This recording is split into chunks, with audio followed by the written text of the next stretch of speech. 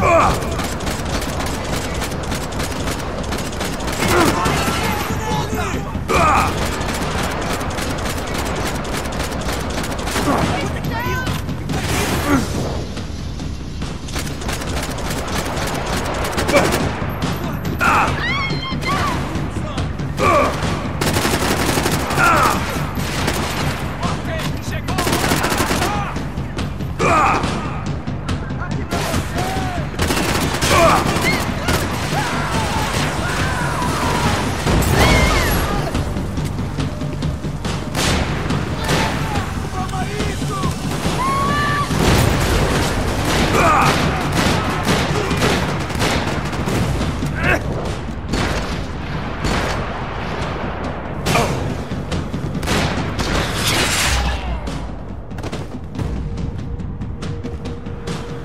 Short of riding in on a parade float, we couldn't have made